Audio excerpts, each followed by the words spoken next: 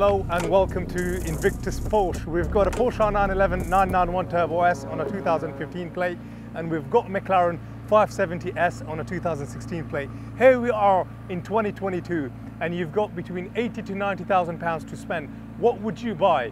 Well, to give you a short answer, if I had that sort of money and I wanted to go out and buy one, this is what I'll be buying. So hopefully that should kind of reassure you which way I'm leading towards. And that's purely because of what the McLaren 570S offers from an experience, both from an aesthetic, from an engineering, the amount of F1 technology that is used, and overall, I think it is an absolutely true icon of engineering. And this is still British made in Surrey, and I think for me, they will have my money. But the 911 991 Turbo S has a lot of heritage. I mean, these 911s, they go back to, in terms of what they're based off, they go back all the way to the 1950s.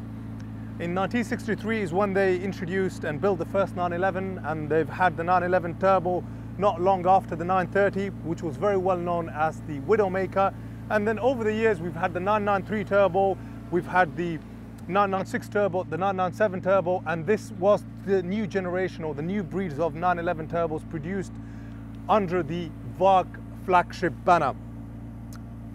Are they stunning? Yes, they are. Are they very well put together? Without a doubt. They've got a lot of heritage, they've got a lot of history, but the 911s have always been known to be the understated car, that car that you can take down to the supermarket and nobody will notice you. But in 2022, I think in some ways, when I'm driving around in a supercar, I would like to be noticed and I would like to be driving in something like this.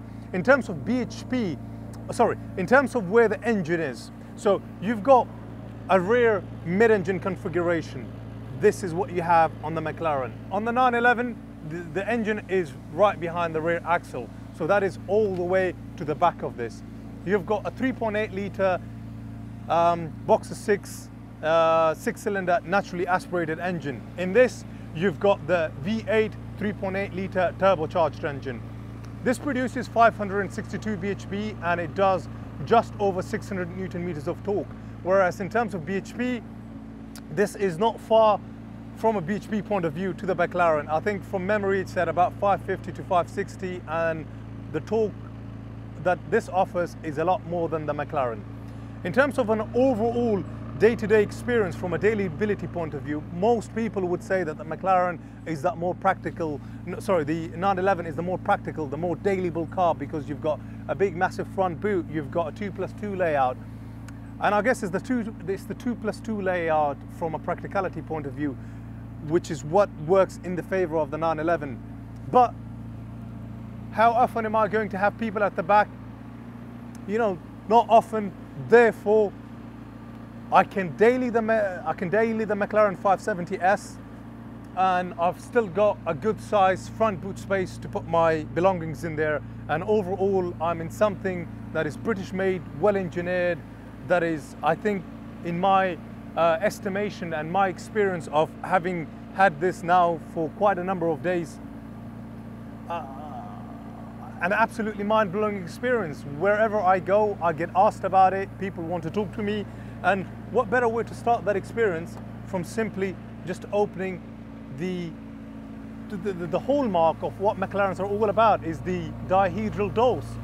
And I think it's things like this that you find in the McLaren that is truly eye-catching, as well as you've got other things like how well all of the interior is put together and built. I mean, this doesn't need to shout out that you're in a McLaren, but from having simply the way the key is designed, which is this gorgeous shape there with the McLaren logo, which is almost like a Nike swoosh, to having the certain areas of the interior and the exterior reflecting what the corporate logo of McLaren looks like with this beautiful swoosh in the middle. And I think all in all, um, this being uh, having the monocoque uh, chassis, uh, a lot of carbon is used um, to make this a lighter car. I think in total, in terms of with fluids, this weighs 1,452 kilograms, whereas the Porsche 911 uh, is not much heavier, but you can feel the lightness of the McLaren 570S. You can feel all the F1 technology and the F1 setup. I think from a supercar point of view and from a supercar experience point of view, this is what I would like to have in my garage rather than the 911 Turbo S. But, you know, this is German engineering, well put, well built, but it's not to say this isn't as good or as well put together or as reliable. I think equally people need to give the McLaren 570 an opportunity and a chance to experience something like this, to actually appreciate what an amazing, phenomenal car is before they can actually jump onto the bandwagon and judge the McLaren 570S. And if you haven't owned one and you, you haven't experienced one or you haven't driven one, uh, I think it's better to keep those opinions to yourself. And um, let's see what McLaren brings next. Uh, in 2016, they were only around for a very short while. Um, I think for, for about four years when they produced this, and I think there's a lot more to come from a company like this. So, sorry. thank you for watching the video. Don't forget to press subscribe gives us a thumbs up and thank you again for watching the video because you're helping towards a good cause because all the money that we raise from our YouTube channels gets donated to a UK registered charity. Currently we're in the process of building a school in Afghanistan so it helps massively. See you in the next video. Bye bye. Let me go away and enjoy my car.